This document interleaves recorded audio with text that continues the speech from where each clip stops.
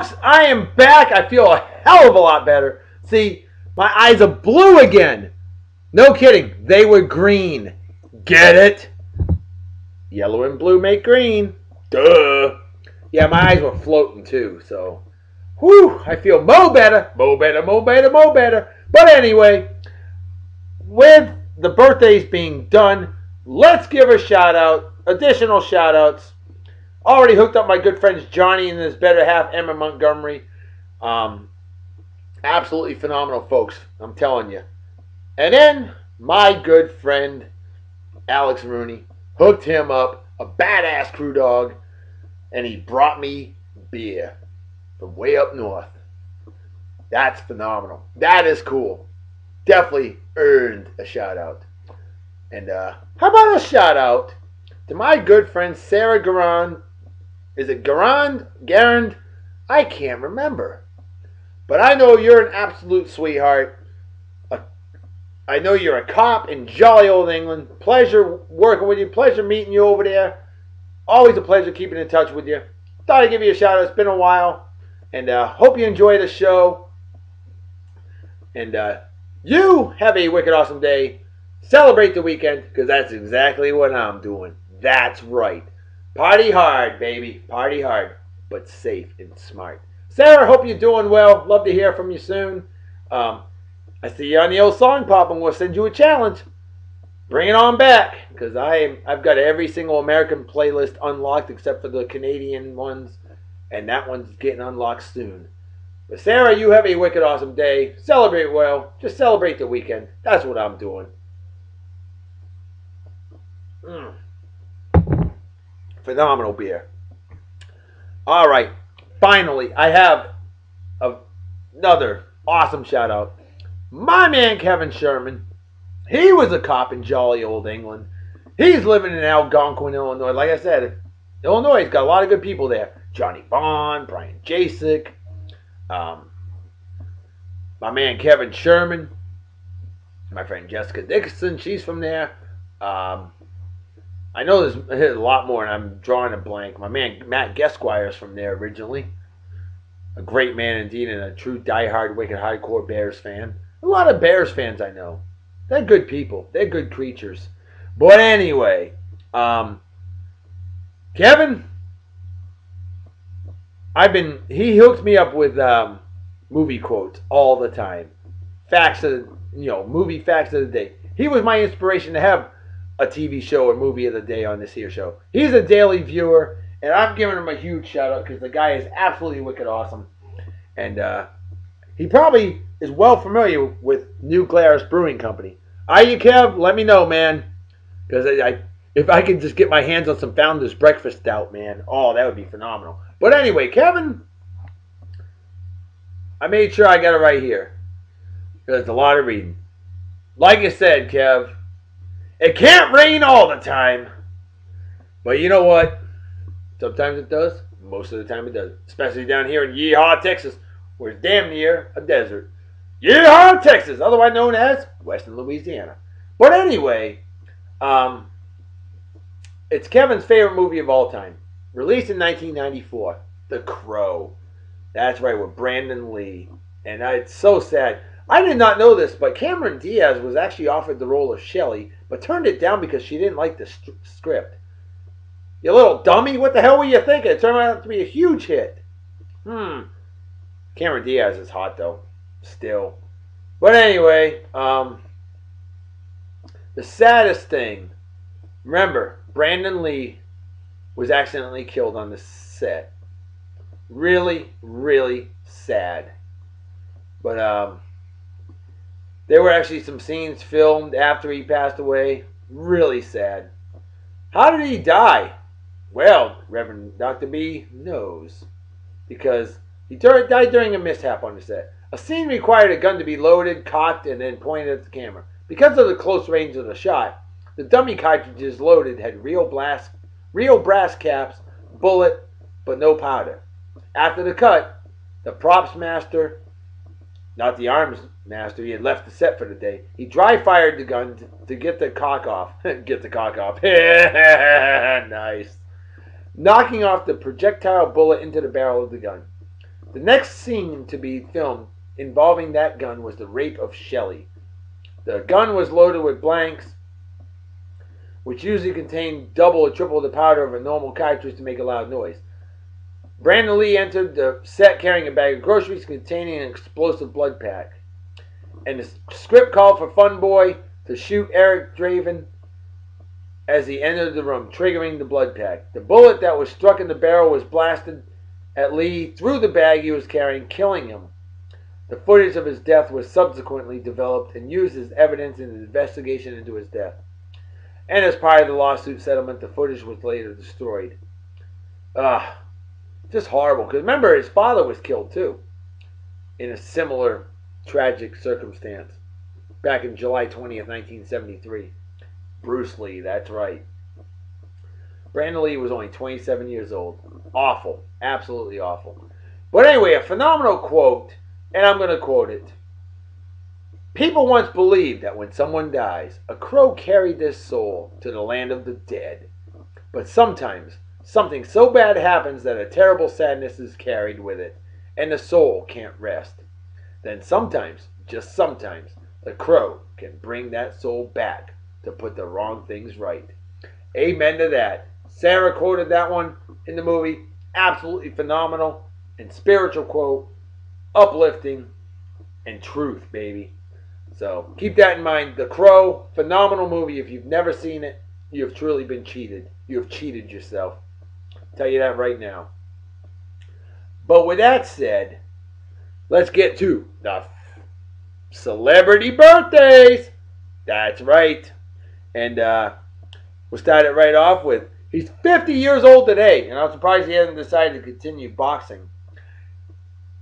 Evander, the real deal, Holyfield. That's right, Mr. Man who got who sadly was most famous for having his ear bitten off by that crazy psychotic goofus, doofus, goon, Mike Tyson. Mike Tyson, yeah, Mike Tyson. You little bastard. All right, he'd whoop my ass. I don't hate girls. Evander, the real deal, Holyfield, is 50 years old. Wow. Will not be surprised to see him still boxing. What else is he going to do, right? On this day, 1945, phenomenal actor was born, John Lithgow. Yep. Loved him in the Twilight Zone, the movie back in 1983, filmed in 82. And of course, he was always a more of a drama actor, but Third Rock from the Sun, he took a turn for comedy and was absolutely phenomenal in that show. He's 67 today. Wow. Another one that's 67 years old today happens to be Gene C. Jeannie? Is it Gene or Jeannie? I don't know. Jeannie, I do believe. Jeannie C. Riley. And she made a very famous country song back in 1969 called Harper Valley PTA. Yep, you see it on Song Pop all the time. Those that play that, like I do. Uh, squeeze me. Folks, if you play Song Pop on the old Facebook like I do, remember, I'm like a heroin addict on that damn app. It's the funnest app I've ever played. Oh, wow, foaming at the mouth. And uh, I dare you. Challenge me. God hates a coward. Bring it, folks. Bring it. All right? With that said, on this day in 1969, Trey Parker was born. He's 43 today. Who's Trey Parker, Reverend Dr. B? Well, simple. He's one of the co-creators of South Park and basketball with Matt Stone. Trey Parker and Matt Stone. Who would have known that South Park would have gone over a decade and still going strong? Absolutely incredible unbelievable because a lot of people are like, oh, that, that show sucks. It's lasted longer than the Andy Griffith Show. It's lasted longer than I Love Lucy. It's lasted longer than Dragnet. Ooh, I love Dragnet. Longer than Twilight Zone, Star Wars, Beverly Hillbillies, MASH, even. Holy shit! How is a crazy cartoon like that so popular? Because we're a bunch of goofball folks but you know what? It is a great show. South Park is crazy, and I love it. All right. So, on this day, in 1968, speaking of crazy, he's 44 now. one of my personal all-time favorite comedians, Rodney Carrington. That's right. Most famous for Dear Penis, I don't think I love you anymore. You used to watch me shave, and now all you do is stare down at the floor or something like that. Dear penis, I don't love you anymore. Yeah. Mm-mm. Empty as the brain cells of an average Yankee fan. That's a problem, folks. It's going to be a wicked long show today. But you know what? Because I'm celebrating. I haven't had a weekend in a couple weeks. And golly gee, I need one. So, we are going to bring out another beer. New Glarus Brewing Company, Fat Squirrel. Mmm, Fat Squirrel, as opposed to Squirrel. Good roadkill. One deceptively spring-like winter day, Brewmaster Dan walked home from the brewery, sat down to dinner, and said, Boy, there are some fat squirrels out there. They're running all over the place. I think I should brew a fat squirrel nut brown ale. Deb agreed, and so was born another. So another beer legend was born. There you go, 100% Wisconsin malt of six different varieties imparts the natural toasted color to this bottle un, bottle conditioned, unfiltered ale. Clean hazelnut notes result from those carefully chosen barley hops, malts rather. Hops from Slovenia, Bavaria, and the Pacific Northwest give Fat Squirrel its backbone. When the going gets tough, remember to relax a moment and enjoy the Fat Squirrel in your neighborhood. Mm. Proper beer opening technique. Oh yeah. And my dog's trying to knock down the door. Shadow, stop, you schmuck. Proper beer pouring technique right there. 45 degree angle right over the keyboard. Never spilled a drop pouring them. Oh, baby. Oh, boy. A little foamier than usual. Poured a little too fast for Das Boot. Yeah, like I say, cheers and beers all you. Process they say in Germany, compile as they say in Japan. Here we go.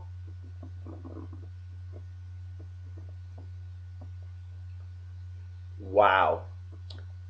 It's tough to say which one I like better because they're both absolutely splendid. Alex Rooney, you're a BMF, man. Thank you so much. On this day in 1932, the late great Robert Reed was born. Passed away in 1992 at the age of 59. Who's that, Reverend Dr. B? Well, hot diggity dog damn, that would be one Mike Brady from the Brady Bunch. Who, unbelievable, he was gay. Dude, he had Florence Henderson. She was pretty hot back in the day. She was a MILF. On this day in 1876, passed away in 1948 at the age of 71. The late, great Mordecai Three Finger Brown, legendary Major League pitcher, had three fingers. And boy, he was a badass. On this day, the birthdays are done. How about some random facts of the day on this day in 1953? The first jet con- transcontinental nonstop scheduled service occurred. How, how cool is that? 80 years ago today, in 1932, Henry Ford gives the very his very first radio speech. Big whoop, right? On this day in 1853, the first flour mill in Hawaii began operations. This one's important to all of you. On this day in 1722, his first name was French. French C. Hop- Hopfer patented the fire extinguisher. Wow, that is a huge, huge, huge invention right there. Thank you, French. Hey, who says the French are schmucks, right? The French are pretty freaking cool. And French proved it right there. On this day, 25 years ago today, hey, remember, hey folks, remember uh, October 19, 1987? No, I don't, Dr. B. What's up with that? Well, quite simple. That was Black Monday. That was the day that the Dow Jones Industrial dropped 508.32 points. 22% drop. That was the four times the previous record ever. Holy smokes. Can you imagine? Ooh, 508 points. I remember Black Monday. Awful. On this day in 1980, now this is crazy. Steve McPeak rode a hundred and foot, a hundred and one foot nine inch tall unicycle. Folks, I tried riding a unicycle when I was a kid. Yeah, didn't work out well, but I did not Thankfully, I'd never um, shanked the nuts. That would have sucked. I don't know how people ride a unicycle. That's crazy. I can't do it. 101 feet 9 inches. Good lord. I'm scared at that height. And riding a unicycle? Forget about it. On this day in 1960, Mauritania became independent from France. Happy Independence Day, Mauritania. Outstanding. I'll drink to that. On this day in 1959, I did not know this. Florence Henderson, we just talked about her. She was 25 at the time. Now she was on. She was Carol Brady on the Brady Bunch. Yep, husband and wife. But uh, Florence Henderson actually joined the the Today Show panel. I never knew she was on the Today Show. Now we know. Hot diggity dog damn. On this day in 1941, the first woman jockey in North America happened. Anna, Anna Lee Wiley from Mexico. Anna Lee Wiley, Mexican name? Really? I don't know. Hmm. Just saying. On this day in 1926, John C. Garand, or Garand, I don't know how it's pronounced. Is it the Garand? No relation to my good friend Sarah Garand, at least I don't think so. He's got one eye, she's got two. But he patented the semi-automatic, semi-automatic rifle. A legend was born that day, that's right. This one's a cool one. On this day, 1919, the first Distinguished Service Medal was awarded to a whoa man.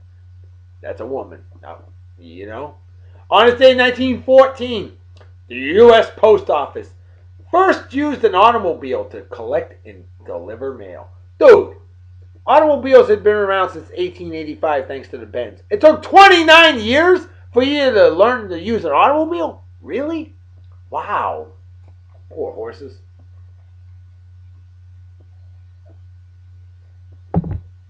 This one is huge. On this day in 1879, that badass inventor, Thomas Alva Edison, demonstrated the electric light. Bye bye gas lamps. Hello electricity.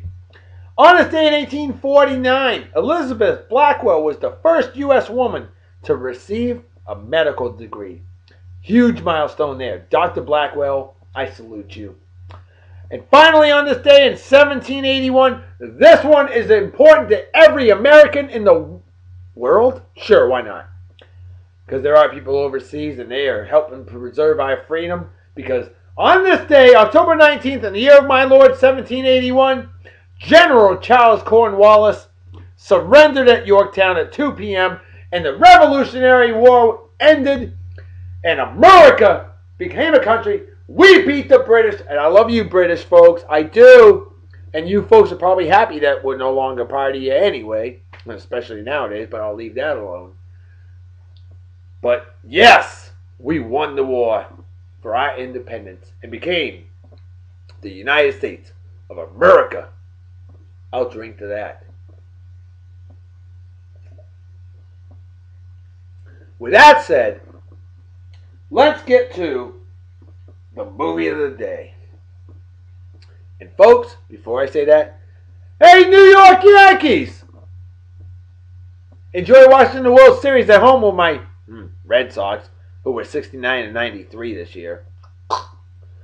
Um, hey, New York Jets, quit flapping your man pleasers, talking all that trash and shit and garbage. That's all I gotta say, New York Jets. I got friends that are New York Jets fans that are a lot classier than that team. Okay? Today's movie of the day. Might as well go with some sleaze and cheese, right? Sure, why not, Reverend Dr. B? Ah, something weird video. You know I'm gonna get some weird shit with this. Bowanga Bowanga, baby. That's right. Look at that, huh? Mmm. Squeeze me. Ultra sleaze and cheese movie. Look out, boys the Ulama Alus. Yep, the legendary White Sirens of Africa. A tribe of 50s era glamour girls who look like strippers in animal skins. Hmm. They capture three male explorers who foolishly invade their secret plateau. Seeking a super suitable husband, the queen makes the guys fight the toughest gal among them. Fire God, take weak men. Queen, take strong men. But the other women object. She no burn ice men. We get husbands too. And a tribal cat fight quickly erupts. Cat fights. Hell yeah.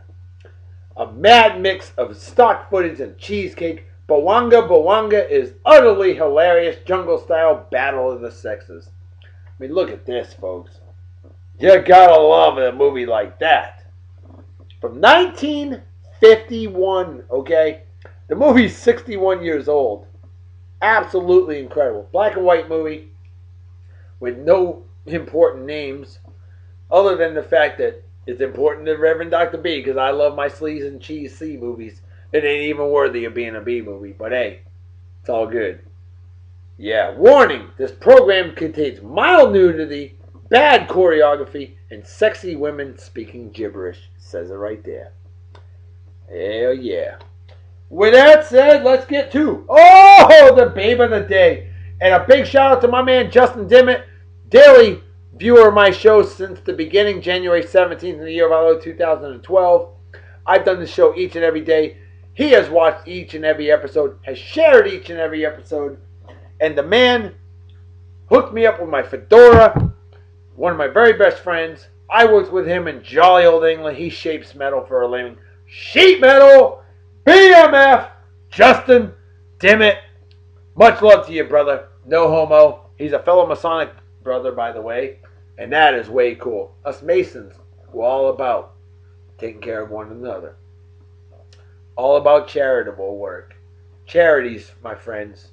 But anyway, he mentioned the lovely Kirsten Dunst, who was on an episode of Star Trek The Next Generation, for he is a huge Trekkie.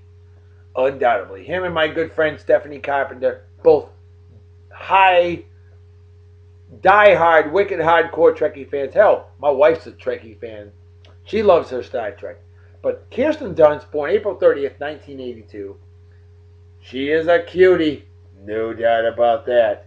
And she is the babe of the day. Justin, my friend, this is for you and all those other great men out there and women who appreciate beauty. Yeah, baby. She is cute. Definitely a cute one. And you know she has never gotten naked on camera. You gotta respect a woman that respects her privacy. Personally, I'd love to see the privates, but hey, you know what? Hats off. Hats off to those ladies out there who are not stripping for the camera too. You know? I'm not gonna complain about it. Not at all. I got friends of mine who are class ladies and uh, good Christian ladies at that, which is definitely way cool. And uh, yes, I am a Christian. A corrupted Christian, but I'm a Christian. I'm not perfect. If I was perfect, I'd be playing third base for the Red Sox. But I do admire God's beauty of creating beauty like that. God, you are truly wicked awesome. That's all I gotta say. Ooh, she looks haggard there. But you know what? What the hell? Why not? Au naturel. She looked a little beat up there. Ah, she looks a lot cuter there, though. Born April 30th, 1982. Hey, what day of the week did that fall on, Reverend Dr. B? Hmm, I'll figure it out right now. See, because April 30th, 1973 fell on a Monday. Therefore, 1977 was a Saturday. 1981 was a Thursday. 1982 was a Friday. She was born Friday, April 30th, 1982. Look it up. See if I'm right. Whoever chimes in and says, Yes, you're right, Reverend Dr. B, or You're wrong, Dr. B. Whoever chimes in with that after looking it up gets a shout out on my show tomorrow. Okay? There you go. That will let me know if you're paying attention or not. Now, I'm not big on redheads personally, but hey, I would not kick her out of bed for eating crackers. What? I think she's a natural blonde. Hell, I don't know. Hmm. Well, she's wet there. not that kind of wet, you sickos. What does she have in her mouth? Is that a cigarette? Oh no, it's her finger. Never mind. She got her finger pointing to her mouth. Hmm. Oh, Reverend Dr. B, you're a bad, bad man. All right. So, show's been 39 minutes long now, and I'm starting to get a little buzzed. Hey, I told you, I'm celebrating the weekend because thank you, Lord, I have one. Let's get to the song of the day. And we have got to wake you all back up since I've probably bored you all by now. We're going to make this one wild for today. Today's song is The Goof by the great Big Jay McNeely from 1952. This one will rock your socks off, knock your socks off. Hell, it's so wild it might knock all your clothes off. This one is crazy. Here you go. Enjoy. It's Friday. It's party time, baby.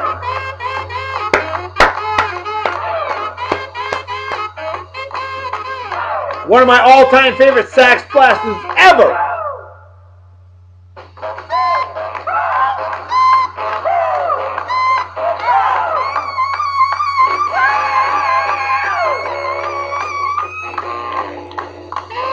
Now, the great Big Jay McNeely, born April 29, 1927, he's 85 years old, and he is still playing today, still rocking the house. Absolutely phenomenal. He's the guy that sits there, he's got this, he's got this gray goatee, kind of heavier set guy, and he'll be he'll be playing, okay, he's playing standing up. He's still standing up, hunched over, he's got a microphone at the end of his saxophone. He's played with uh, glow-in-the-dark saxophones, all kinds of different color saxophones. There was a Wrigley Field in Los Angeles at one time. Not the one in Chicago, but there was a Wrigley Field in Los Angeles, minor league baseball park. In 1954, this guy played saxophone on his back and and went from first base to home plate playing while sliding on his back. This guy is an absolute animal and he's still absolutely nuts today at the age of 85. God bless you, Jay McNeely. Thank you for keeping great music alive. This guy, I'm telling you, folks, Big Jay McNeely, look him up. You'll be blown away, literally. This is talking about kicking ass. Starting the weekend off with a bang.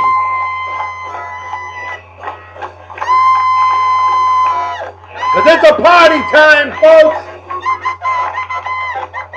Big Jay McNeely is definitely starting off right.